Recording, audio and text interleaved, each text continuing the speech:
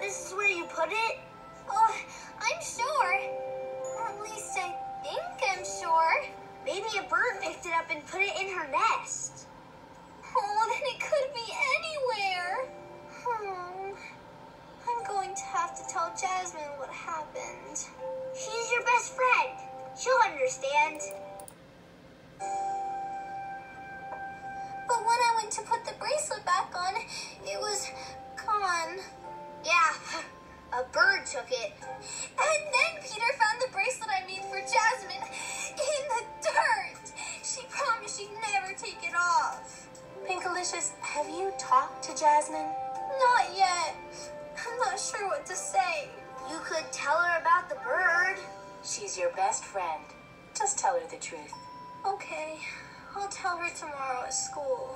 How about telling her now? Now? Okay, I'll tell her now.